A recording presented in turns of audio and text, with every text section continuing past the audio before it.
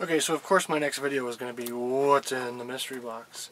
And I didn't show this side just because someone out there may have already known what this was, but this is a uh, Club DyDo in association with Nintendo um, item. And let me go ahead and show you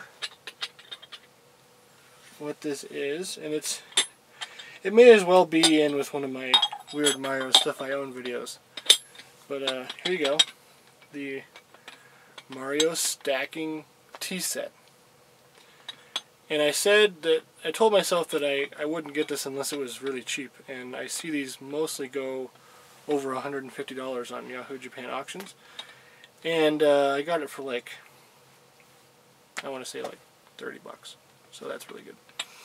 Um, so just a red topper. And of course this goes on the teapot for when you heat it up. And then the, let me set this down really carefully, the coin cup. There's, there's nothing inside, really. No other design besides the coin. And then they have the brick block on one, so it all stacks up and looks like Mario's getting a coin, and then we have the Mario.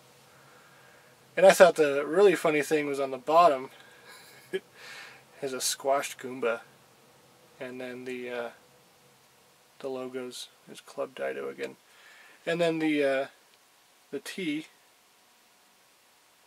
goes in there, and then you brew it and tra la la. Um, so yeah, that, that's what was in the box. Of course, it was wrapped very well. I was very nervous to have this shipped over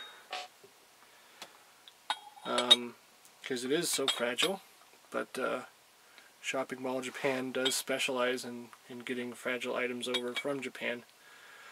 Um, and they did pack it brilliantly. It was very well packaged. I'm not sure if that was um, the Japanese seller, if that was them, but it tends to be repacked from them. I can kind of tell what their shipping um, packaging looks like. So, that is what was in the mystery box. Thanks for watching.